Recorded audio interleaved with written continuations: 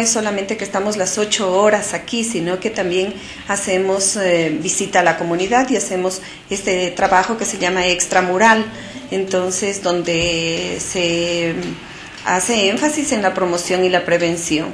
Eh, entonces creo que eso permite también estar más cerca de la ciudadanía, trabajar con la comunidad. La expresidenta del Colegio de Médicos de Loja, Mercedes León, manifiesta que este cambio beneficia en especial a los sectores populares que requieren de atención pública en salud, ya que de cierto modo también con el nuevo horario se pone en juego la fatiga mental de los galenos. Hay algunos que no están muy de acuerdo porque la remuneración no es lo que corresponde a lo de ocho horas y si bien es cierto, esto fue una un, logro de la Federación Médica, no en base porque no querían trabajar las ocho horas, la capacidad intelectual que no se tiene lo mismo con los últimos pacientes de las ocho horas que del inicio.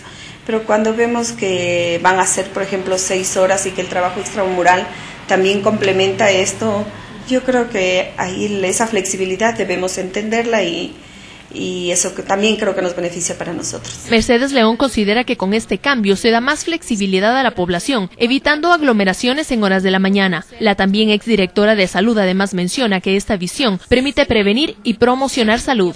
Con imágenes de Jorge Cuadrado para Mundo Visión, Claudia Román Galindo.